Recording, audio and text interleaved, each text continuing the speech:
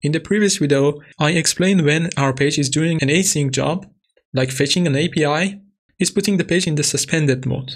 And if we have a loading file next to our, to our page, Next.js will wrap the page with a suspense component that comes from React in the layout level. So in this case, our page is fetching some data. It's in the suspended mode. It's doing an async job and it's not available at the, at the moment. So Suspense will render the fallback, which is a loading to the end users to have a better user experience and have a better performance. Now this video's subject is to how to use Suspense at the component level.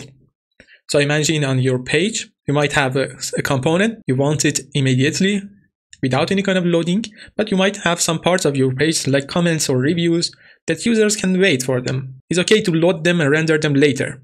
It's based on your logic, of course. In this case, uh, I would like to show a loading for comments section on this page instead of waiting for comments section to be rendered and reduce the page load speed.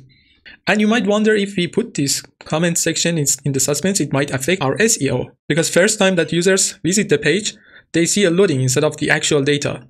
But the way that Next.js treats this code is that it streams the page instead of showing a loading to the search engines or in the final page output. Now I try to show you an example to see how it works. I'm on the shopping page. I have a review section and some products. All of them are mock data, of course. Now if I refresh, I want this review to be rendered and loaded later because I don't want to wait for this review. It's not that important for me.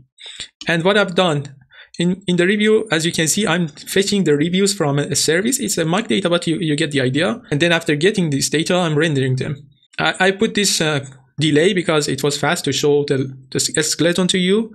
But uh, without this, you, you can imagine how it works. It's really fast. But if I put it in here, you can see a skeleton at least and how it works.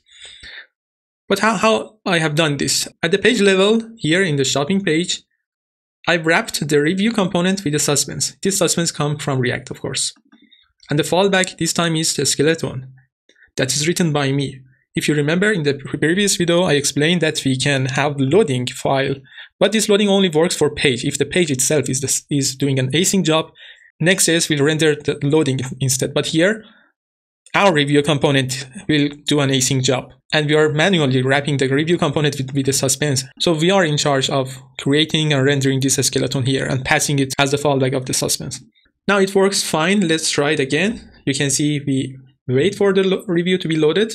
But as soon as I refresh, you can see the products are rendered already.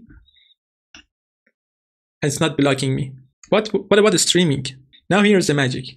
If I refresh the page, you can see that it's loading. It's not finishing immediately. Let me try.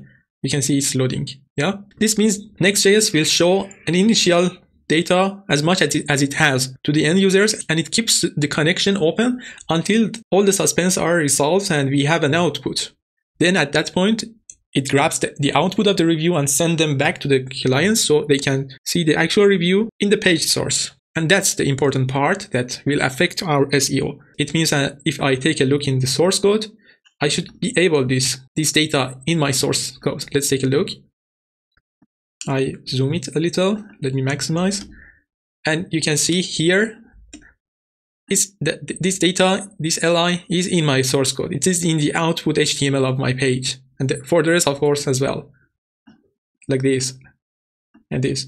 This is in a way that if we were implementing it in react we have we, we will never have this. It, it was only showing me a loading instead of all of this data that you can see or my skeleton component. But here in the next.js it's streaming and showing me the final result. And if you take a look in the into the network you can see let me open the network tab. Let me zoom. Maybe detach it. And i bring it here.